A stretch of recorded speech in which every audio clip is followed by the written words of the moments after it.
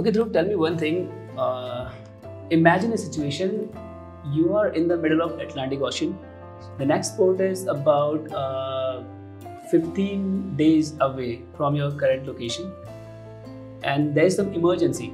Suddenly, you get a call from your uh, your family that there is an emergency with one of your family members, medical emergency. Yes.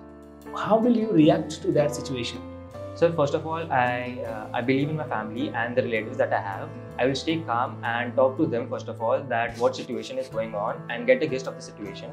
So after that, I will uh, tell my fa- uh, family to be a little calm as uh, there are relatives that I uh, really trust whom, whom can help uh, them in in this situation and can emotionally and support them as well. And sir, I will tell them to be calm and. Uh, after that, uh, every two to three days, I will call them and check on them uh, regularly so that they are not unstable. Okay, great.